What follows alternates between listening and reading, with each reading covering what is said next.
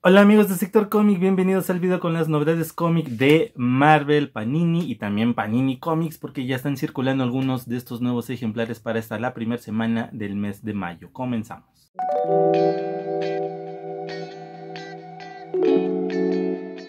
Para la primera semana de mayo llega de Amazing Spider-Man ya el volumen número 3. También contiene Edge of Spider-Verse número 2. Es formato grapa. Tiene un precio de 79 pesos.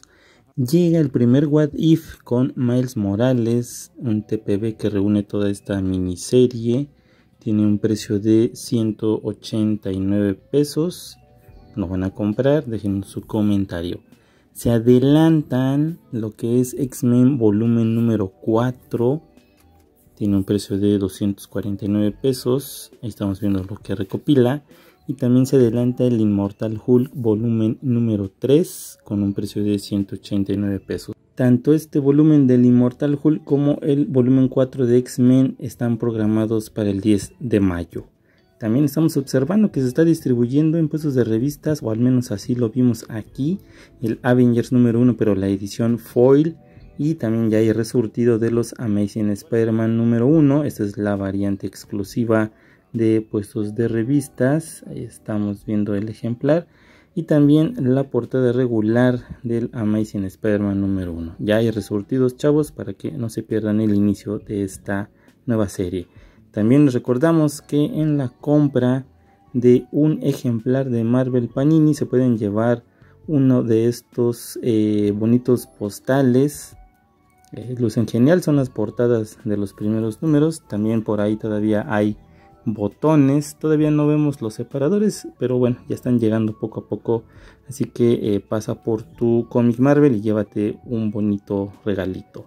Ahora con títulos de Star Wars ya llega Doctora Afra, que ya es el volumen número 4.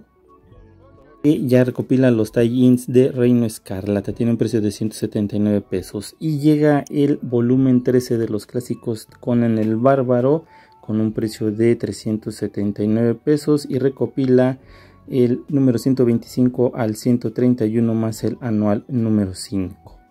Pues bueno, no me puede traer el hardcover de Conan el Bárbaro. La verdad yo estoy siguiendo estos ejemplares, pero esta semanita se me complica, hubo un incremento de precio. Entonces pues vamos a esperar un poquito para que pueda conseguir este ejemplar. De mientras, con los títulos de eh, Marvel Panini, pues ya está el número 3 de Amazing Spider-Man, ya le dimos lectura, ya está la reseña por subirse, así que no se lo pierdan. Incluye el Edge of Spider-Verse número 2. Y bueno, pues como vieron en el video anterior, eh, ya tengo el 1 y el 2, apenas los estoy leyendo y pues me traje el tercero de una vez, el tercer número de El Inmortal Hulk, para ir ya al corriente con esta lectura. Pues bueno amigos, ¿qué compraron? Déjenos ahí sus comentarios o cuáles estaban esperando.